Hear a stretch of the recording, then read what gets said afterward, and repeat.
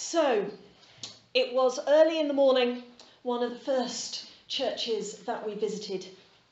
And as usual, Janet, Esther, and I were given the places, pride of place, right up at the front. So as we walked up to the front of the church, we sat in our, the plastic sun chairs that were there. And I sat down and noticed on the wall over there a great big spider. Okay, okay, that's fine. It's over there, no problem at all. I looked round the church and noticed on the wall just here another great big spider. Thought that's okay, that's over there. And then I kept looking round and looked behind me, and just there was another great big spider about this big. I kind of inched forward in my chair and sat on the edge. They began, and they began as they normally do, with a choir of children coming up the front to sing a welcome, welcome, welcome song. Everybody started and they were singing. They got to the end of the first line, and suddenly I felt on my back. I jumped up! Esther jumped up beside me, Janet jumped up, Magnus was sitting over there, and he was wondering what was wrong. And sure enough, the spider had jumped off the wall onto my back. And we down there. The children were all singing, Welcome, welcome, welcome in Jesus' name. So I just said, okay, okay. Well, that's okay. It's not on the wall anymore now. It's running around the floor. That's fine. I will take my seat again. Um, however, however, as it um, as as our meeting progressed, the spider crawled back on the wall, and during one of the breaks, we surreptitiously picked up our chairs and moved out into the middle. Um, it was just uh, one of the things. I mean, we, we just don't get spiders this big in this country. You know, that was different. But we had a fantastic, fantastic trip um, um, to Sierra Leone. So, Esther, do you want to come up and here? Because we're going to give a report of what it was like. So, this is Africa. Sierra Leone is just. Oh, it's not working very well. It's just there. I won't hold it. That's Sierra Leone, just there. You can see, surrounded by Guinea and Liberia. And you're possibly wondering why on earth, why on earth did we end up in Sierra Leone?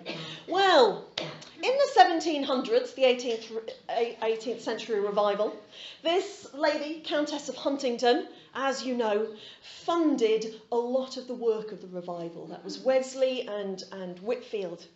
She, um, she built the chapels, she founded a Bible college, she provided, she was very, very wealthy, she was a peer of the realm, she provided huge exposure in London and things for Wesley and Whitefield, and quite frankly, she paid for an awful lot of it in the ministry of what they were doing. Um, part of her real passion was, as I say, the Bible College, training up ministers and people here in this country, but also to send them out and Countess of Huntingdon kind of missionaries from the Bible College and the Huntingdon connections set off to America, which, of course, in the 1700s, the colonies were very new there, and other nations. But particularly in America, where, where Whitefield um, ended up as well, churches were planted there. Churches that didn't just reach the white folk, but reached all the other nations, people groups that were moving over to the American colonies. That included those people, the blacks, who had been taken over there as slaves. When the abolition of slavery came in and they were released, they were able to head off if they, if they chose, if they could, if they had the money, to other places.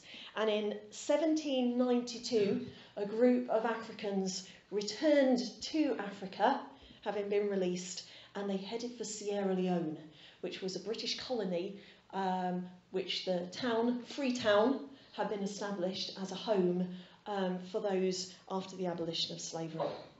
And so the first group went there in 1792. They took with them their church, which was the Countess of Huntingdon Church. because that's what they had grown up with and what they had known. So there in Sierra Leone, unbeknownst to the England Countess of Huntingdon Church, was a whole group of Countess of Huntingdon churches in Sierra Leone. In the, in the early 1900s, we discovered each other.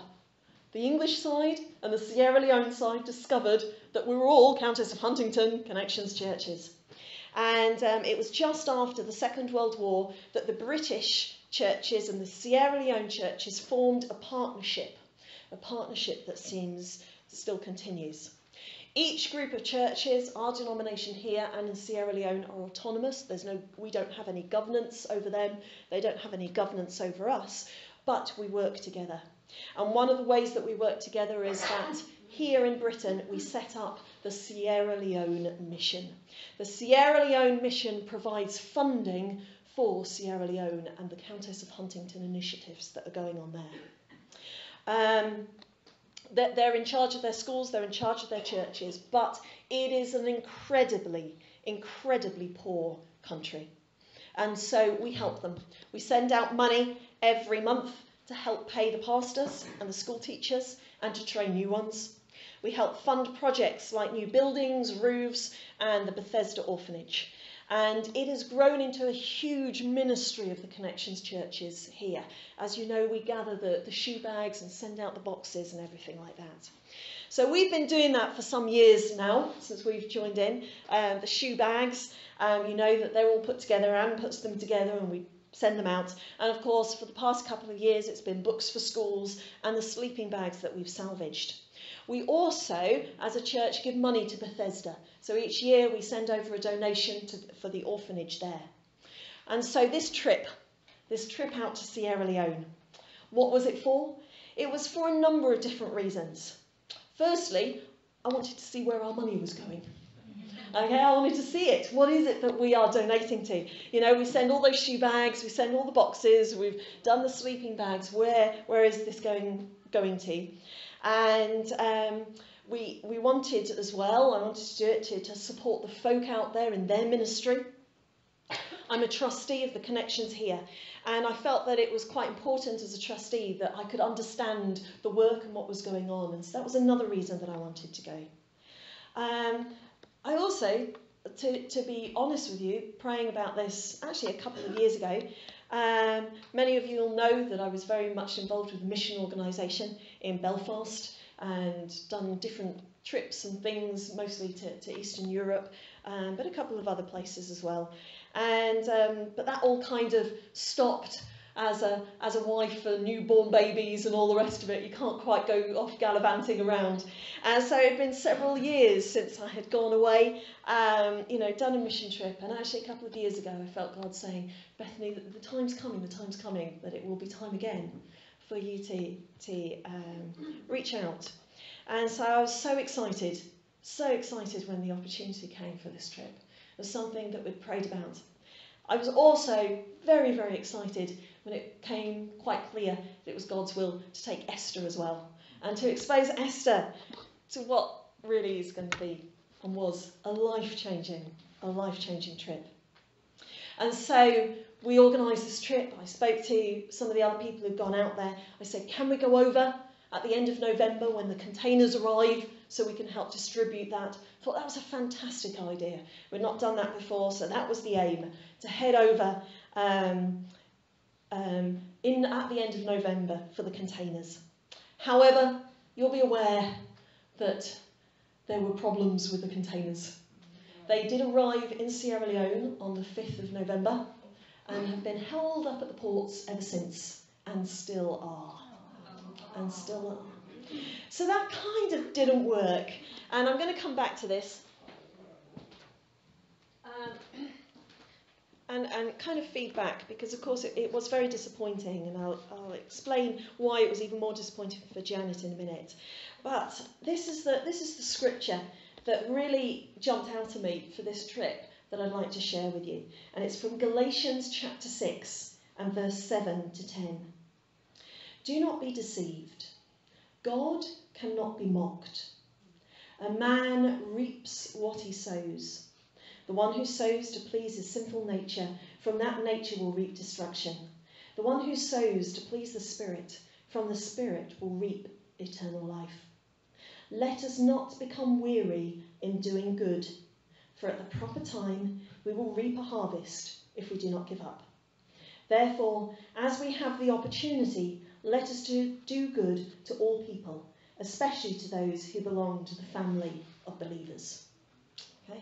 And I really, really felt that in going out there to Sierra Leone, yes, I was blessed, but I wanted to be a blessing as we went out there. And so, who was it? Well, this is this is us. These are the, the team, the three of us that went out. Janet, Esther, and I. Janet is a wonderful lady. She's from St Ives Church down in, in Cornwall. And um, she's she retired from teaching four years ago, having been a teacher for 39 years. She helps out and does a huge amount in the church down in um, St Ives, and she is amazing. She is also the lady who has organised the containers this year. So she sourced them, she raised the money for them, God poured in the donations, she filled them. In fact, we sent out two containers, two 20 foot containers. The idea being that when they go out there, we, we bought them, we purchased them. We not just rented them, we purchased them so they're ours. So they're going to go out and be placed in the orphanage compound um, and be placed there to be used as extra accommodation. So she sourced and found the money to, to, to buy the containers. Um, a 20 foot container was filled within a month of all the donations that she'd gathered in um, furniture, um, books, um, uh, clothes, and things like that. The second container, 20 foot container, was kind of filled by all the rest of the churches and the connections and all the stuff that we sent down there as well. But Janet had arranged all this. She had raised the funds for the shipping. She had um, helped with all the organisation of this. So, I mean, she has spent practically all of this year focused on these containers and getting out to there. So it was so important to her, and she really, really wanted to see those containers when they arrived. Um, she's well known out in Sierra Leone. This was her fifth trip. She's very caring, very compassionate, and just pours out her heart to people. She was devastated that we couldn't see the containers, that they were still tied up in the docks.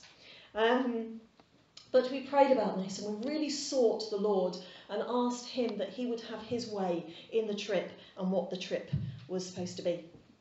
Esther was also on our team. I'm a bit biased, but you know what? She's an absolute sweetheart.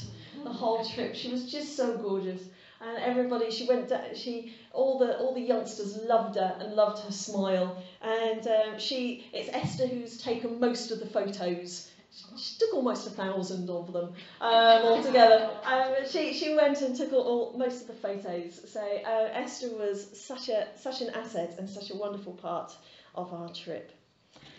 The other main person I want to share with you is this guy. This is Magnus.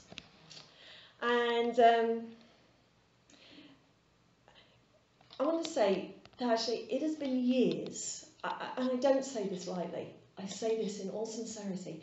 It has been years since I've met somebody quite like Magnus.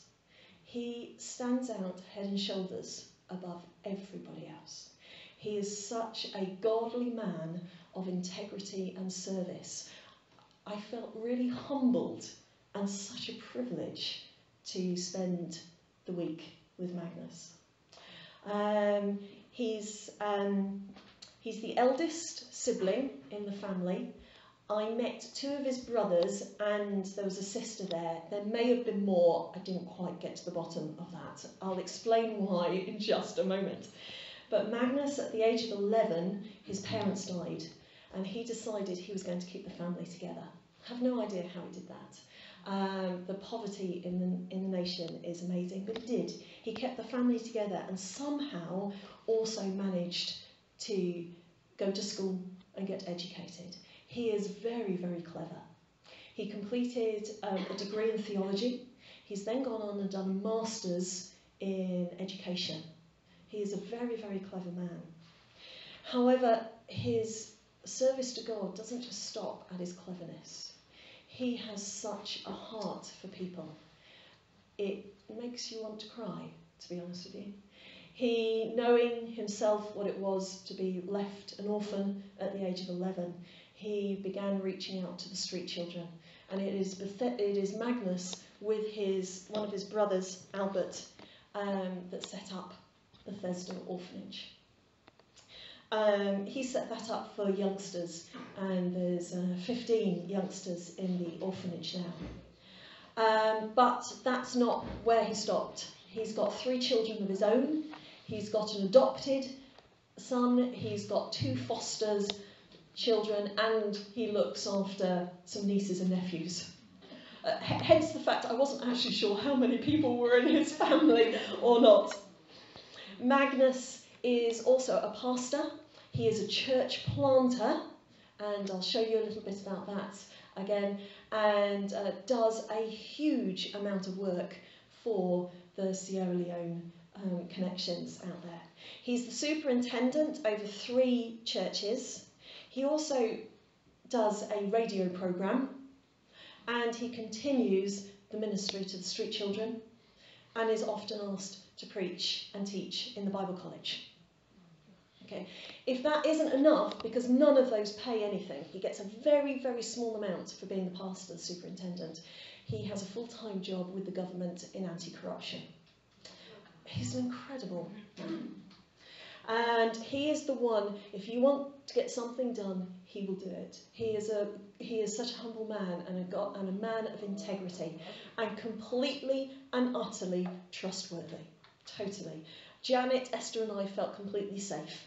We took over British money because you can't get Sierra Leonean dollars or pounds here, so we took over the British money, you know, and there was no qualms. We handed it all over to, to Magnus. He changed it, he sorted it out for us and kept detailed accounts of, of all where the money was going that we took with us. Um, I just want to commend this man to you. Um, this is him all dressed up.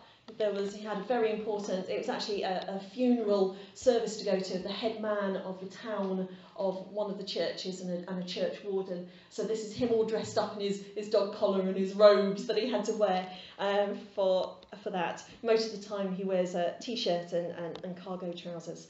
Um, but this is Magnus, and, and he's the main guy out there um, amongst all the other pastors and the bishop and everything like that. Just to, just to explain about the funds, Sierra Leone Mission, we send money over every month and um, each teacher, pastor, they get about £21, but that's not enough. That is nowhere near enough for them to live on. So all the pastors have other jobs as well. They have other jobs, often teaching or, or something like that, and then they have a small amount and then they go to their church on a Sunday, maybe a midweek meeting, because they're not full time pastors. There's just one church that actually pays their pastor, and they've only just started doing that this year. The churches are so poor, it's really, really difficult. I'm now going to ask Esther to come up and talk about Bethesda Orphanage. Come on up, darling.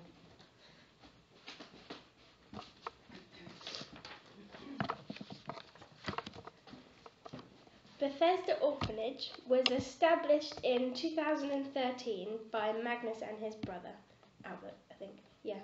Um, to begin with, they found an old property in the town of Waterloo, but with support from England, they built a special compound and a home on the outskirts of the village of Brahma. They currently have 15 children, aged 6 to 17. All the children are orphans or have been abandoned by their parents. A couple came from the villages, but most were found by Magnus on the streets of Waterloo. Life is extremely difficult and dangerous on the streets. Children are used and abused and may be shipped off for child labour. There are only five girls in Bethesda because girls on the streets are immediately picked up and locked away in homes for prostitution. One of the girls at Bethesda had escaped when Magnus had found her. Aminata and Sally are the house mothers. Both are widows, and Sally's younger son, Andrew, lives at Bethesda with the other children. They are wonderful, and the children loved and cared for. It is a real family, and all know the Lord Jesus. Every night they gather together for devotions, and we joined them. Then we would spend a couple of hours playing games, singing, acting, making paper art, and one evening, Mum taught them how to use an electric sewing machine. This is the courtyard where they gather during the day. That one. Yeah. Hang on, where am I?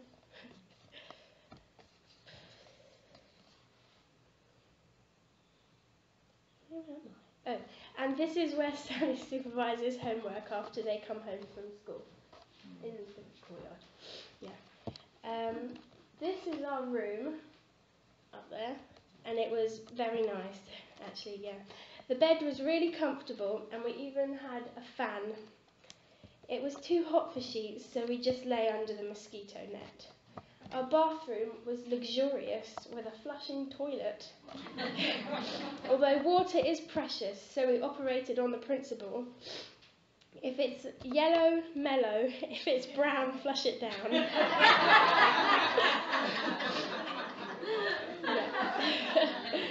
we also had a cold shower, cold water shower, which was wonderful because of the heat. Um, stand underneath, turn on the tap to get wet, switch it off, soap all over, and then quickly rinse.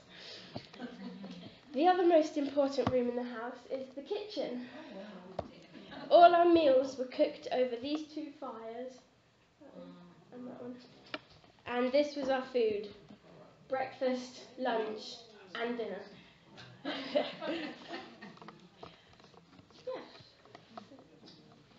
Moving on to the. Um, do you want to? I'll call you back up. Okay. So, what what is it? What did we do? What was it like? A lot of um, a lot of what we did was um, going out to visit. I wasn't sure what our program would be. We were expecting, obviously, the containers to be there, and that's what we planned for. But I'll be honest with you. Other than that, uh, we weren't we weren't sure, and communication isn't easy. Um, Magnus actually, the way that they communicate is through Facebook Messenger when that works. Um, uh, he hasn't got access to proper emails and things. That's quite difficult to get, um, and thing and phone calls are expensive. So some of it is done through Facebook and, and Messenger in that way. But so we weren't sure what we were going to do. But Magnus, once we'd arrived, he'd put together a program. oh my goodness, was it a full program? We arrived very late on the Tuesday night. Um, the car broke down on the way to the orphanage, so we were so we were sitting on the on the on the curbside for an hour or so whilst he sourced another car and got us there. And um, and so we arrived very late Tuesday night. We slept, we slept really well, but he said, "Oh yes, no, we're starting in the morning at half past eight. So we were up the next morning, um, having not slept at all the night, you know, having gone like uh, 40 hours or something without sleep. We were up the next morning um, for our, our fish and rice breakfast and, um, and then heading out. And Magnus took us in his car and we began. We began by going to um, into some of the rural villages. There's a lot of villages around, and the way that the connections have it set up there is that in the villages there's a church and there's a school. And those are the two, and they go together and they, they kind of work together. Okay, they're, they're managed separately, but it's all they're working together. And in the villages, as we head out, this is this is what village life is like. Now, I brought back this, which is a very kind of romantic view of Sierra Leone and African life with the mud huts. Uh, you know, before going out to America, we have that in our mind, mud huts, and that's what people, uh, you know, are, are living. Sorry, sorry, Sierra Leone. What did I say? America. America, Africa. We have that in our mind about Africa, mud huts. You know, and then people say, no, no, no, that's all also because they don't live in mud huts anymore. They, they honestly do. They honestly do. We went out there and saw it.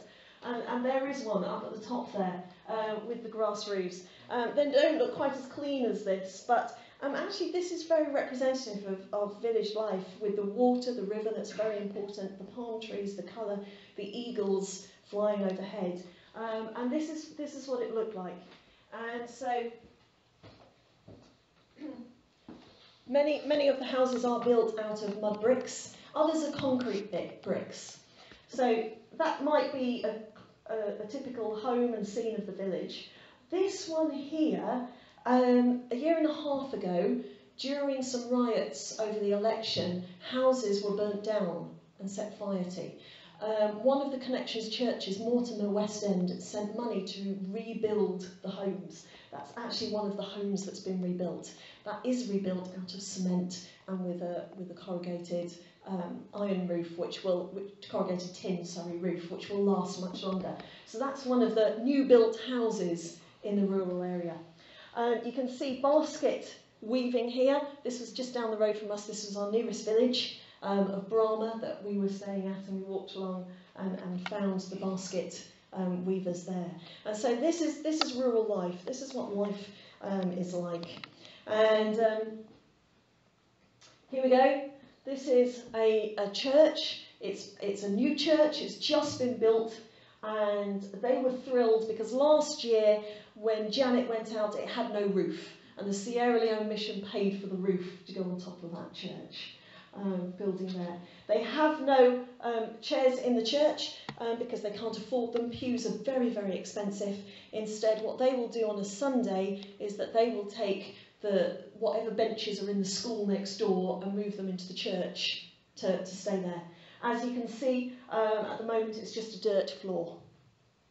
These are the kind of benches and, and, and stools and things that might be in a rural classroom. So that's that's what it's like. That's what the accommodation is like um, out in the villages. Uh, we, but we were given, they're singing in that one, we were given lots of songs and welcomes every, everywhere that we went. city life is, is a little bit different.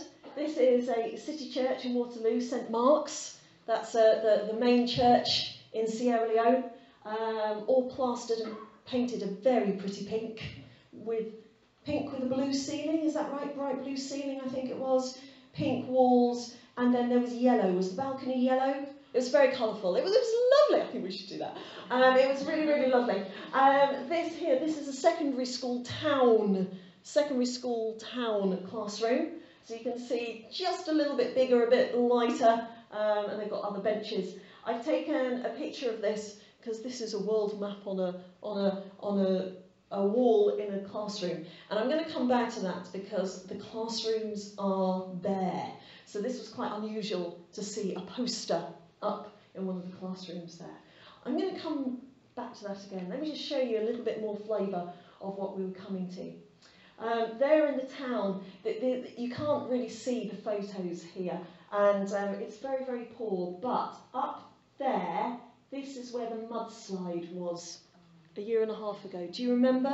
Um, the mudslide came down and, and flooded the shanty, some of the shanty towns of Sierra Leone. So many people were killed. Um, so many people died and died afterwards of, of fever and things. Um, quite a few of our sleeping bags last year went to those people. This is slum life in the city and the amount of rubbish. It, it was stinking. It was really, really stinking. And so there's, you know, there's rural life, there's town life. Things are, mm, you know, in some ways nicer in the town life, but they're crammed in. And unless you have got lots of money and can afford it, the slum slum area of the city, there's loads of it. It's, it's very, very distressing. Very distressing. so what happened when we got there? We would go out with Magnus, we would travel to, uh, to a combined church and, and school, and then depending on what happened, they would gather everybody together. So here we are gathered in one of the churches. I think this is the church at Fabena. And um, the school, all the school kids are coming. Can you see the green there? That's the Huntingdon green uniform that all the children wear. And uh, they're crammed in there, and then they are singing welcome to us singing our welcome. And um, as, as, as we came in, they would sing, they would welcome us. Then the teacher or the pastor or both would stand up, give a welcome speech, introduce us to the other teachers, the other pastors, the people in the church. They're kind of tagging things like that. They would thank us so much for coming, thank us for what we're given this year, and then make their requests and uh, say we could really do with you know the toilets need and the, the, the pump the water pump was broken we need some more you know we need some more pews um, the manse is only half built you know could we we not all of our teachers have been trained. Could we please have money to train the teachers and all the rest of it? And then Janet would stand up. She was a representative of Sierra Leone Mission, so she would stand up and she would bring greetings from England, Sierra Leone Mission, and everything like that. Um, and then they would all turn and look at Esther and I. And this is where, I'm going to be honest with you, this is where it was like, oh God, what do we do now? Because we had no clue, had no clue. We had no idea that we were going to do this. And so that very first Tuesday night we got in, um, Magnus had said, this is the schedule, this is what we're doing. First thing Wednesday morning, and suddenly we're like, so what are we doing? What are we doing? We don't have the containers. We don't have all the boxes to hand stuff out. So what is it that we're going to do? And I really, I really wanted and asked God, actually, is this your will that we don't come with all this stuff from the containers? If we had, would we have just been looked at as the rich white people just giving loads of stuff in? I think we probably would have. And I said, God, what is your purpose in this? What is your purpose for us going around these schools and churches? What is your purpose in this? I mean, yes, they love to see us, and this is us providing, you know, a connection between the two churches. And I said, God, I want to use me in this, use me in this to build up the people who are here, to build up the relationship. And, you know, I discovered there is nothing, there is nothing worth more than actually meeting the people face to face.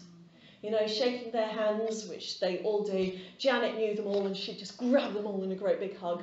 Um, and, um, you know, there's nothing worth more than that. And I said, God, what is my role in this? And so Janet, she's part of the Sierra Leone mission. She was introduced as that. I was introduced as a pastor from England. So everywhere we went, I picked up the Bible. I said, God, I need help here, I need a verse. And I'd turn to a verse and I'd read that verse out and speak about that for a minute or so and then bring greetings and pray a blessing over them. And so, so that's what we did. Esther and I, here, here, here's me speaking a message out to, to this. This was a big church, this was a big school. There were actually six schools all on one site, and they'd all gathered together. Um, it was well over 800 children, all, all in one place there. And um, in this particular one, I, I felt God speak, tell me to challenge the young people. There was a lot of teenagers there with the verse, um, He who honours me, I will honour, from Samuel. And I'd speak about that. And then Esther and I taught them the loud pulse Amen. You all remember that one, don't you? Amen. So I tell them because I needed something to engage the youngsters. So Esther would come out I said, Esther, and I said, this is what we do with our young people. And this. And then I'd get them to, ha- to have a go. And of course, they'd do it half heartedly. And I said, no, no, no, you can do it much louder than that. And we got a huge, great big amen. And then I would um, uh, stretch out my hands and play, pray a blessing over all of them the children, the staff, the teachers, the pastors, and pray a blessing. Quite wonderfully, they would often put up their hands like this and cover me to, receive the blessing. And we would end with a, with a, with a great amen. And, um, and this became our pattern. This became our pattern as we went around the churches. And we would travel from, from village to village into the towns, um, managing about six a day honestly, we were on our knees by the end of the day um, because we just can't so much. It was just uh, amazing. But it was amazing. It was amazing to, to see the children. It was amazing to, to speak to the pastors. And they were so appreciative of all that we had given.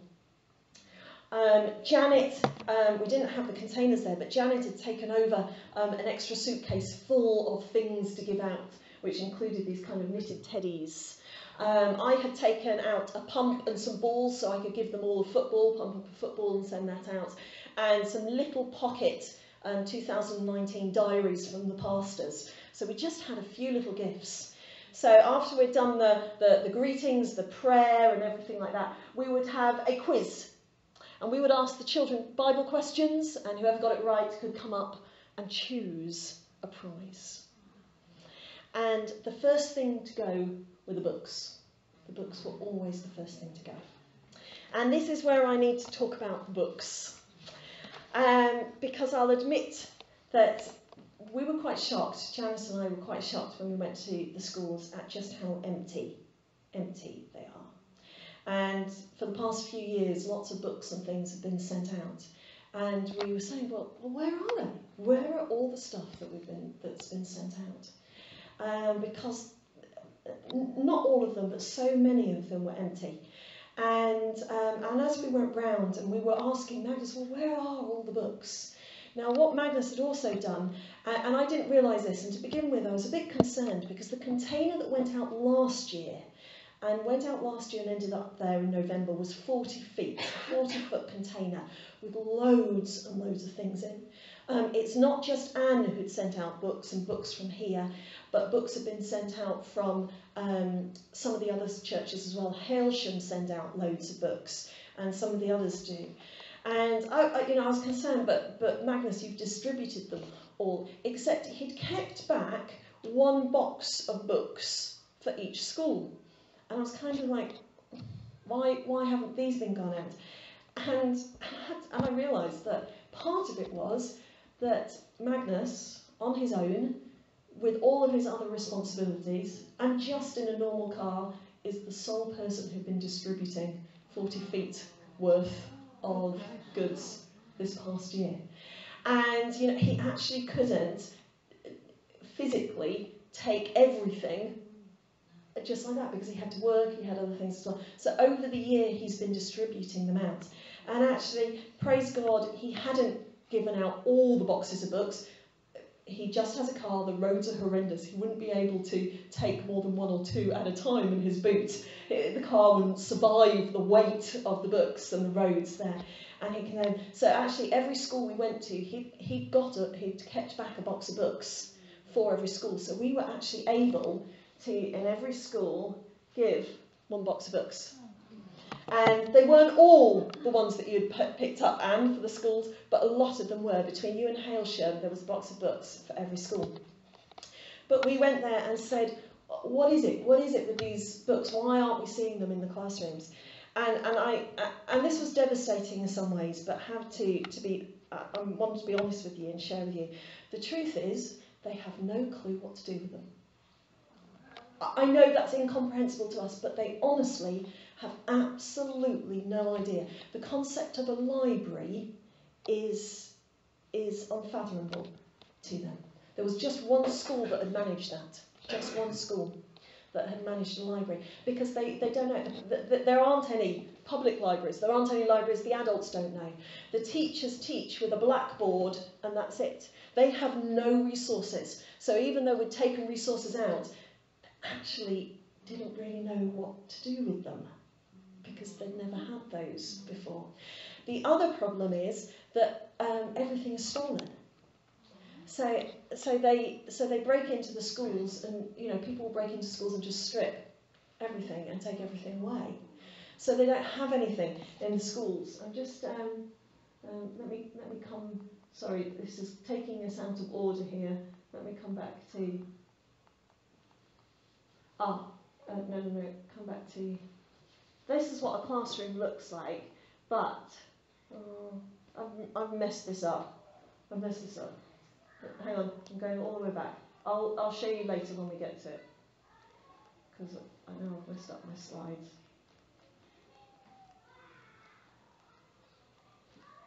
I think the battery's going on this. Um, looks, and so so there are things that we're hoping to do for the future for that. But the truth is, but they love these books. They are desperate for them. The, the children prize them, the teachers love them.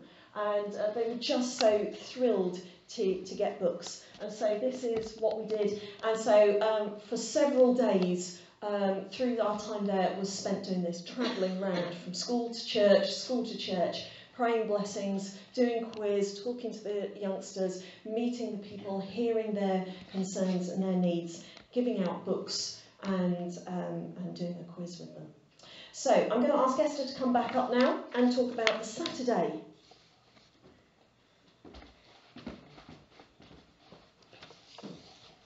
On the Saturday, we paid for the children to have a holiday. Um, once a year, if they once a year. They go to the beach as a special treat. we had chicken drumsticks and rice in our lunch packs, and then got into a 15 seater minibus, all 34 of us.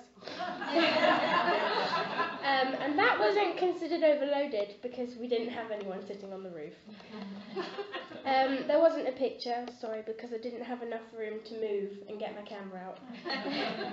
um, we were stopped by the police at the checkpoint, not because of the number of people in the van, that didn't make sense, not because of the number of people in the van, van but to check we had permission from the village to use the beach. Um, it was a lovely afternoon. The youngest kid, Mohammed, had never seen the beach and sea before. Um, we all had a great swim, and it was the only time we actually felt the right temperature. um, and the sunset was beautiful. Yeah. That's great. So that was the holiday for the children. Um, I'm looking at the time. I'm going to have to whiz through these much more quickly. Sunday. Sunday we set off. Sunday was a wonderful day. This is where we set off for the Anne Pink School. It was quite far away. Um, it was very much out in the sticks. It required a ferry across the river to get there. This is the ferry. Okay. Um, when we arrived, a car had broken down, so um, it, we had to wait for over an hour just to get on the ferry. So we were an hour late before we got there, but it was it was quite a long journey. Uh, yeah, that's the ferry. Uh, you have to pull yourself across. So there I am, uh, starting to, to, to help with pulling across. We arrived at the Anne School. I know. Oh, school. The church is next door to us as well, uh, and that's called the Anne um, Church. This is inside. Um, this here is um, over, over in the corner here. That's that's Pastor Michael. Okay, and uh, Daniel is the head teacher. It was a Sunday, but all the school had turned out um, into the church as well to join, to, to meet with us. Uh, we had a great time. We had a really great time. I took over with me um, a photo of us church from the 25th anniversary weekend in a frame to give to them. Oh, he was so excited. He was beside himself with excitement, was Pastor Michael. So this was me giving a gift of the photo um, to the to the Anne Pink Church there, and um, we had a, we had a great time. And they do have a box for your books already. Okay, it's actually kept in the church because the church is safer than the school. And these are posters, and these are your books stuck in here. And we gave another box of your books over to them, and um, and you know talk to them about it. So so they are actually using some of the resources and materials that we're sending out. Um, there we go. That's another um, box of books to that. That's the other. The other one was the pastor. This is the head teacher there, and uh, he was thrilled and delighted. And I told him about all that was coming in this next lot of container. Um, we that is the Anne Pink School. That's the school block building. That's a classroom in there, and that's the toilets. uh, for that one there. Um, it was lovely. We then dashed from Anne Pink School and Church to Mabang, which is one of um, which is one of Magnus's churches, and the church that he has refounded and built. And he'd asked me to preach that Sunday. It was great. He was absolutely brilliant. So of course he had the microphone and he was doing the translating. They don't need a microphone for the size of the building that's there, but they use it because the church building is in the middle of the village and it means the entire village hear the church service. So it's one of their ways of outreach. And um, it was a wonderful worship service. It really was. They'd sung and had we had worship together and noticed and had a testimony time. And one of the young ladies was up there giving a testimony how delighted she was that her friend had come to church for the first time. And um, I preached, Magnus asked me to do, it was the first Sunday in Advent, so do something on Christmas. So I did Isaiah 9, um, Jesus, the, the, the uh, light in the darkness, and gave a real gospel message. And it, it, it was so much. Honestly, I was having a whale of a time. I, I forget everybody else. I was just having a great time there and finished up. So, so that was Sunday at, at Mabang, and what a wonderful time we had.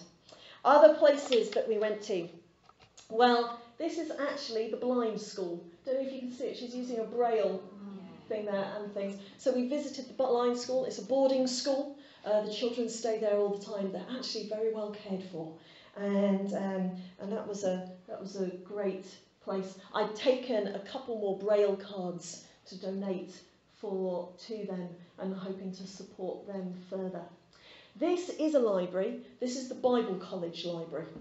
It has lots of books in, and we've sent out more books for the Bible College. Um, what can I say? They are thrilled and so proud, and of course they should be. But I was looking through, and I'm really hoping to be able to source some more um, materials for them because it, it's very, very old, you know, books and very dated. Um, but they have such a passion, and education is so important, and so many people use this. Again, it was a real privilege to go to the Bible College and, and witness. At the Bible College, they've also opened up a clinic to, to, to help um, mums and babies and young people. So they are really putting so much the gospel and faith into action. It, it was just wonderful. It was wonderful to, to be with them and see them. One of the big things that we wanted to do, and part some of you gave money for, was to feed the street children. So this is very much Magnus's heart. This is his passion. I think um, if he could, he would like to work full time for Connections and Bethesda and work more with the street children. This is making up food to take out in these portions. Um, we took out 56 with us. Last year they'd taken out 40. This year it was decided 56. We went out. This is us all putting it all together with Aminata and Sally who'd cooked it and we put them all together. We went out into the streets and the photos aren't good because it's dark and there's no street lights or anything like that. But we but we tried to we tried to take some photos here. Um, Magnus asked as we went into Waterloo that I would share a, a gospel message and he would translate a gospel message there to the youngsters and pray for them. And then we would hand out um, food when we got there, there was a crowd of 80. And they weren't just little kids, they were older ones as well. And Magnus, uh, uh, he, he was almost in tears. He said, it, It's just getting worse. He said, It gets worse every time I come out. He said, They know me. They know that because he is there, that he's working with the children. He said, But these are young men. And he said, And these are young men who are hungry. He said, In previous years, they wouldn't have come and taken the, food of the small children. Their pride as young men wouldn't have allowed them. He said, but they've got no pride left. They're just so hungry. And um, I don't have photos of it here, but you know, hearing from one of the guys in the village who has a plot of land, they haven't had enough rain this year. The crops are not going to be enough again, and so they're still going to continue hungry. Um, so we so, I, so I, we spoke and we prayed for them. We then began handing out meals. Now the youngsters, the kids, the young men, there was no problem with us. They weren't aggressive or angry to us, but they were pushing and shoving each other a lot. And um, and although we didn't feel unsafe, the crowds were so much and they were shoving each other so much that Magnus said, "We're going to have to get you. Let's get you back in the car and away from here." And he left Albert and his one of his other brothers, Robert, to um, and one of the young men um, from the orphanage, um, um, Abdul, to, to then hand out the rest of the food just because there was so much shoving and pushing. And he didn't want us to get tripped over in the middle of that. Uh, but it was heartbreaking. And afterwards, we did talk about possibly whether next time um, there is a room, um, a hall that we could maybe hire just for the evening and have people on the door and just let people in you know, a few at a time rather than being on the streets handing out. So that's something that might happen next. Um, but it, it was very moving, moving time. We also found another orphanage. Now this is an orphanage just along the road from us that we visited. Um, that's, the, that's the girls' dormitory. There were four mattresses in there. Um, there were there were ten girls sleeping in there. It was a terrible state. It was a really awful state. Um, however, as we looked around and, and thought, oh, so awful and things, we realised actually they wouldn't trade that for going back to the streets. Mm. The streets are far too dangerous. So although it certainly wasn't anywhere near the standard of Bethesda or what we would consider to be, you know, um, acceptable, um, they are at least not living on the streets, the girls and the boys, and they're able to, live under there and go to school because the school was just um, opposite them and all the children were able to go to school. So we, um, yeah, we went uh, into that. Um, coming back to the books. So one of the things that Magnus has done is given every school now one of those um, metal containers to lock the books up. This is the school that has a library. And again, this is something that Magnus is hoping to work with the teachers. And in some of the schools, there is a spare room that can be used and to get that set up. But of course, they have no shelves or anything like that. So, so that's going to have to be um, um, built up with. But one of the things that, that we are um, that we're thinking about and that really Janet and I talked and strategized. She's planning to go back in June. I'm not going back in June, but she will be. And she's a teacher, and actually, she's going to do some teacher training. So there is huge scope there for um, you know support and things to go out there and teach and to train teachers how to teach. And um, what what Janet is thinking is that the closest school, which is within walking distance of Bethesda, to go in there with paint paint over the classroom. We can't put posters up, they'll probably be stolen. So instead, put stencil things onto the wall and make that all look really nice. And then she's going to work with them and train some of the teachers. There's another guy going out in January to do some work with the secondary school teachers. And that's possibly the next step for this. So, um, this is this is some of what we did just, a, just some of what we did on our trip out there. Um, a couple of days were spent trying to see if we could get the containers released. This is what the issue is. We are a charity, we are able to send it out duty free. If we send it out duty free, they don't get the money that they want from it because it's duty free. So they have compounded the containers and said, no, you need more certificates, more letters and things that have to be stamped by various different ministries in the Sierra Leone government. We are going through that process. What, of course, would make it easier is if we had paid bribes to get them released, but we won't pay bribes. Um, what we suspect will eventually happen is that they will say, okay, well, the containers have been sitting here for over a month. Now you have to pay us because we've been keeping them for a month, you know, and you've been taking up our space. So that's what we're expecting. Unfortunately, although letters, certificates, and Magnus has been working so hard, and we've had try, he's tried to get in touch with other people who will help, the containers still haven't been released. Now, obviously, everything that is in there will go out to the youngsters, but the shoe bags are the Christmas presents. And those children don't get any other Christmas presents. They don't. And very often the shoe bags are shared between the whole family, which is why Anne sticks in a couple of toothbrushes and a couple of other things in there. And so that's, that's uh, they're gutted, you know, with that because those children won't get anything else and the shoe bags are their Christmas presents. But once it comes through, eventually they all the stuff will get there.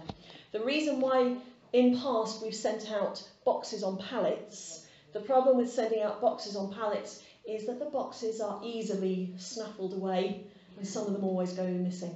If we send out containers, it means that we can guarantee that most of the stuff will actually arrive there. But there's this problem with the containers. So it's something that the SLM will be looking at this next year before making a decision of what will happen next September is can this be made any easier? We're not the only charity, we're not the only organisation in that position. There are other charities who were there and crying because their containers were stuck on the docks and couldn't get them out. A lot of other charities simply now they do not ship to Sierra Leone. They don't give anything because they can't get them through the customs. So ours will get through eventually, we're just not sure when, really.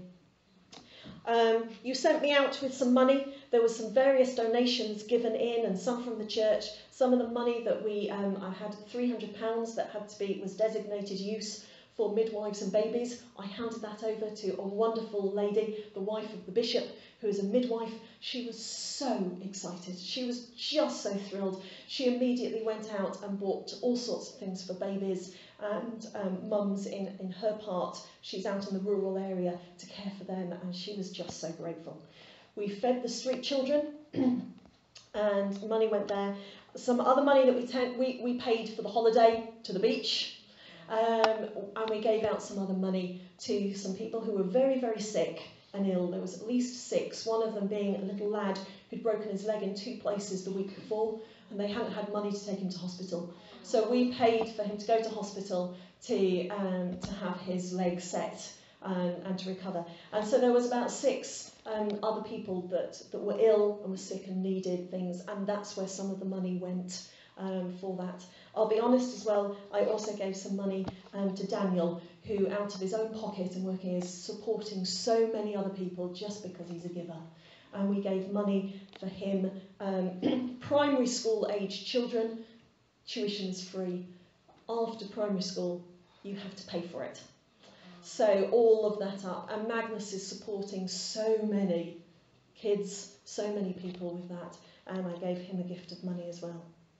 So the money was the money was well spent and well used that you gave me. Thank you so much. And that really went to, to minister to the people there. There are needs, there are always needs. There are churches and schools that need new buildings. This is one school, they've outgrown their property and the church has helped them put this up. This is a temporary building. As soon as it rains, the rain will just flow straight underneath. They would love a new building. There's some that would like um, some more toilets. Anne Pink School, it's a rural school and way out. What they have asked, um, what they have asked is behind the toilet block, there's this plot of land here. Um, they would like to purchase that and turn it into a school garden.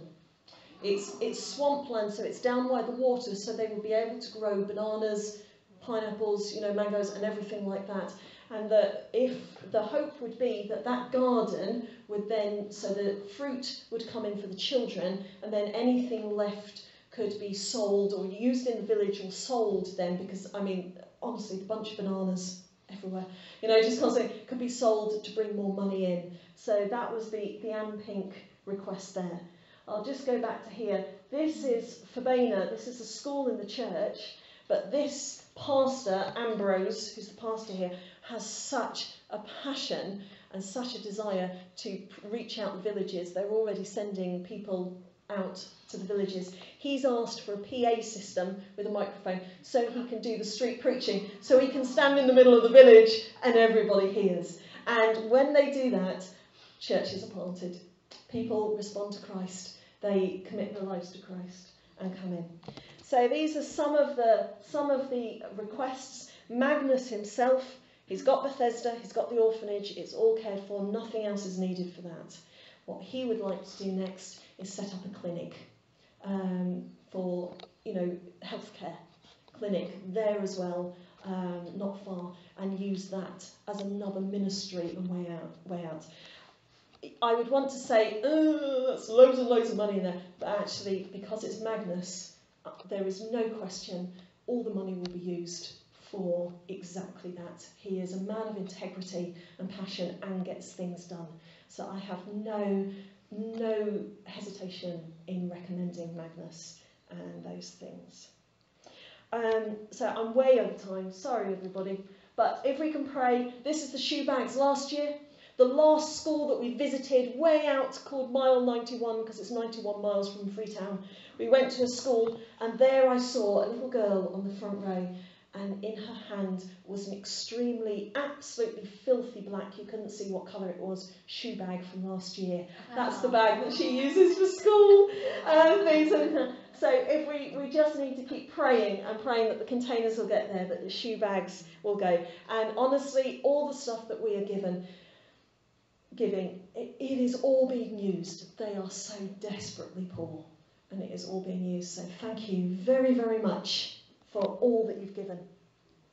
I have a few things up here that you can come and have a look at if you wish. Um, I do have a gift for Anne. So, Anne, your, your service and all your contribution has been recognised, and this is from Magnus to say a huge thank you to you, Anne, and a gift back to you for all that you've done.